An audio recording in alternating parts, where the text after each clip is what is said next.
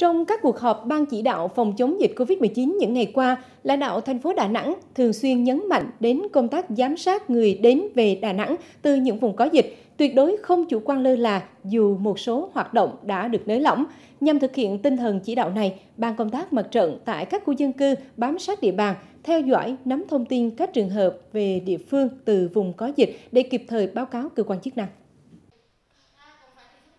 Những ngày này, bà Trương Thị Nhãn, trưởng ban công tác mặt trận 4A, phường An Hải Đông, quận Sơn Trà, thường xuyên đến các dãy nhà trọ tại khu dân cư để kiểm tra cập nhật thông tin về các trường hợp về đến Đà Nẵng từ những vùng có dịch. Bà Nhãn quán triệt đến các chủ hộ phải trung thực khai báo các trường hợp lạ mặt đến thuê trọ để địa phương kiểm soát chặt chẽ tình hình dịch trên địa bàn.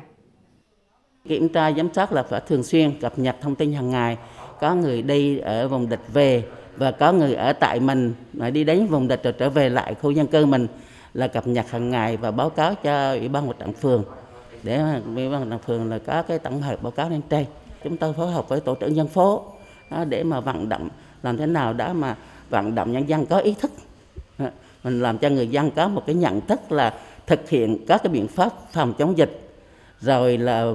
cùng với ban thông trạo tổ dân phố là phát hiện giám sát những người ờ, ở nơi khác đến rồi những người ở vùng dịch trở về địa phương mình. Ngay khi được phổ biến các quy định, bà Phạm Thị Ngọc Tuyết, một chủ trọ trên địa bàn phường An Hải Đông đã kịp thời cung cấp thông tin cho ban công tác mặt trận khu dân cư về trường hợp trở về từ thành phố Hồ Chí Minh đang thực hiện cách ly tại nhà. Nêu cao ý thức trách nhiệm vì cộng đồng, bà Tuyết tuyên truyền vận động các hộ thuê trọ nghiêm chỉnh các quy định phòng dịch của thành phố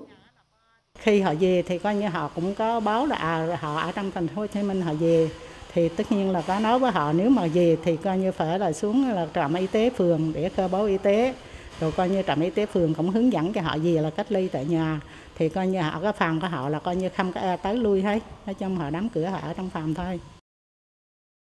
Thực hiện chỉ thị số 08 của Ủy ban Nhân dân thành phố về thích ứng an toàn, linh hoạt, kiểm soát hiệu quả dịch COVID-19, Ban công tác mặt trận tại các khu dân cư xác định chỉ một sơ sót nhỏ ở địa phương cũng tiềm ẩn nguy cơ lây lan dịch. Chính vì vậy, việc giám sát chặt chẽ tại cơ sở là nhiệm vụ quan trọng để hỗ trợ lực lượng chức năng kiểm soát tình hình dịch.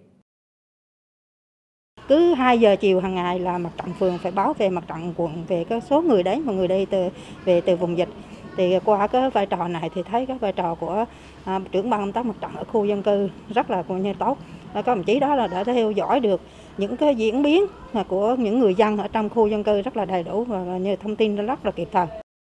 Theo thống kê của Ủy ban Mặt trận Tổ quốc Việt Nam thành phố, trong các tháng cao điểm phòng chống dịch từ tháng 7 đến giữa tháng 8 năm 2021, Ban công tác mặt trận khu dân cư đã giám sát báo cáo danh sách được hơn 700 trường hợp người đến về từ vùng có dịch, kịp thời theo dõi phát hiện các trường hợp F0, F1, Hiện toàn thành phố có khoảng 1.200 ban công tác mặt trận khu dân cư, mỗi ban có từ 7 đến 15 thành viên.